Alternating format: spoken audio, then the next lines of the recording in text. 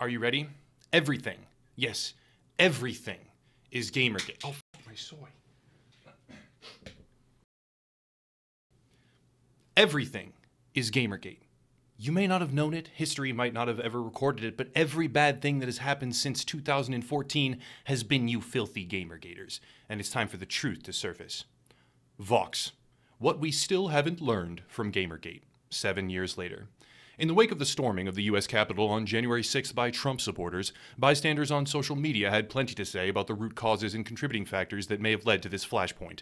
Among these was Gamergate, the year long harassment campaign from 2014 to 2015 that eventually became subsumed into the greater rise of the alt right movement online. End quote. That's right. Gamergate caused the U.S. Capitol to be stormed, seven years after you nihilists waged war on a beloved and upstanding community of journalists. Oh, what's that? Don't like being called a nihilist, do you? Too bad. Quote from Ryan Broderick, formerly of BuzzFeed, before being fired for plagiarism, though it was probably just plagiarized from some Gamergate chud, so that's fine, but I digress. Quote, our Wall Street Bets users noticed that Citron was shorting GameStop, and because they're all radicalized post Gamergate nihilists, decided to bet against Citron simply out of spite. This isn't the first time that Wall Street Bets has deployed a large scale 4chan style astroturfing campaign on the stock market. The U.S. Securities and Exchange Commission investigated the subreddit over insider trading allegations in 2017. The subreddit's users have basically figured out how to work together as a community to rearrange the raw source code of capitalism into a shitty video game. The result is a cascade of speculation bubbles on random nonsense. Kind of like Wall Street. End quote. More, more. Yes, we need more from my rational, professional, and credible brothers and sisters, please, so that these awful video game player minds might understand finally. From Jill E. Hughes on Twitter. Go get 'em, sister. Gamergate was a psyop conducted in cyberspace against women in the gaming world using psychological micro targeting metrics obtained via Facebook and other social media platforms. Yes. Yes, it was. You are correct.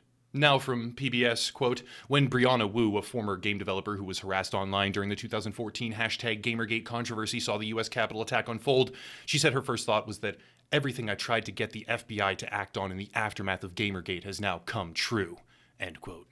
Still from PBS, Paragon of Social Progress, quote, We told people that if social media companies like Facebook and Reddit did not tighten their policies about these communities of organized hate, that they were going to see violent insurrection in the United States. We told people that these communities were organizing online for violence and extremism. That, unfortunately, has proven to be true. End quote. Mm. Mm. Yes, from the esteemed Kathy Griffin, Quote, hey, techie, smarty pants followers of mine, do you think what happened with my Trump photo scandal being such an international overblown outrage could have been because of this Gamergate thing I'm just learning about? End quote. The answer is clear, in my opinion. Of course. You holding a replica severed head of a sitting United States president whom 75 million people supported at that time was only a scandal, only, purely, only, just because of the fact that Gamergate existed. The truth will one day be known. Now from anti-Fash Gordon, whose social media biography heroically states, quote, I expose fascists, get them fired, dehomed, kicked out of school, etc. As he should, it's the Lord's work. He lays bare the reality of how everything, everything is Gamergate. Quote, let's talk about the New York Times firing editor Lauren Wolfe and rise of the alt right starting in 2014 with Gamergate. Wolfe tweeted that she had chills on Inauguration Day. The right predictably spun up an outrage cycle and Wolfe was fired. To some of us, this looked a lot like Gamergate, a misogynistic harassment campaign whereby a collection of creeps and incels pretended that they were the victims of a liberal gaming press and leveraged that position to attack feminists. End quote. That's exactly what Gamergate was. In totality, nothing more, nothing less. That is what a gamer is, and our righteous brothers and sisters in arms must fight back using the collective power of our trembling soprano voices on Twitter. From Jeff Yang, columnist for CNN, citing Ro Khanna, I'm so glad this comes from my beloved heroes at CNN. I am struck by the term digital soldier who would have thought that 10 years after helping support democratization in the Arab Spring, social media would be facilitating digital soldiers who attacked our Capitol? End quote. The addendum literally anyone who followed Gamergate. It's comforting knowing that we have voices from CNN to give us this truth. Branching out to our individual assets on the ground in this never ending righteous fight, at the Zero Virus, an extremely stable, rational human being, quote, for context, the far right exploded in size because a dude claimed his ex girlfriend slept with a games journalist to get a positive review, and white nationalist opportunists used that as a launch point for the alt right, which directly led to Trump's election, which mishandled COVID. That's right, Gamergate. You heard it here. Gamergate caused death by COVID. On the subject of Trump, it must be addressed by Scott Maynor, a people's hero. Quote, I'm convinced that if we would have properly addressed the Gamergaters when they were a thing, Trump would not be in office today. End quote. That's astute, a very astute observation because the supermajority of Trump's voting base does secretly frequent gaming media forums and hang on to gaming journalist grievances from seven years ago, which then tells them this Trump guy, who openly states that video games cause violence and should be examined more closely, which is an asinine perspective, which is my entire portal into this voting block to begin with, apparently. Well, yeah, he's the president for me because because of Gamergate. His base definitely isn't just middle class America who largely doesn't even care what video games are, and I'm glad finally someone has put the pieces together that Gamergate caused Donald Trump. Lastly, and most importantly, Joanna Robinson, senior writer at Vanity Fair. I like this one because it's nondescript. It's very useful. It could apply to anything. It should apply to everything because, as we now know, and you Gamergaters must now see, Gamergate causes everything bad to happen. January 6th, 2021, starting the year off with clarity. Quote, I think all the time about what might have been different if people had taken Gamergate and specifically the female targets of Gamergate more seriously. More seriously. Ripples upon ripples. End quote. Okay, all right, I'm done. That's just a few examples of the everything was caused by Gamergate crowd, and I thought it would be fun to do it that way instead of a really dry analytical approach, talking about each one individually and why it's absurd or stupid or totally ridiculous, because it's pretty damn obvious at this point. But now for the second half. Gamergate was a 2014 clash between gaming media and players slash forum posters all over the internet. It was largely sparked by a post in which a quid pro quo was claimed between a developer and a writer. The developer is Zoe Quinn, who then went on to launch a Kickstarter for her erotic game with a financial goal of 69,420.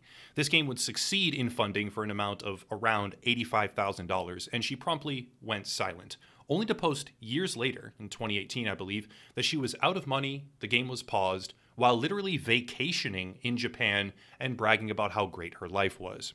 The writer, during all of this, allegedly offering up favorable coverage to her during the Gamergate fiasco, for romantic involvement, apparently, is the allegation, is still employed at Kotaku. And overall, Gamergate was a giant nothing. But don't take my word for it, because this is an international scandal, mind you, which made it before the UN, actually, and is referenced as the flashpoint for world events, both civil and financial, seven years later. So, yeah, don't take my word for it alone. The FBI released a semi redacted 172 page document detailing their Gamergate investigation. Yes, the FBI investigated it. Yes, it made it to the UN. And yes, it was a giant pile of nothing. The report shows a couple of threats far from the mountain that was, and still is to this very day, constantly claimed to have been sent, a veritable tsunami of harassment and death threats.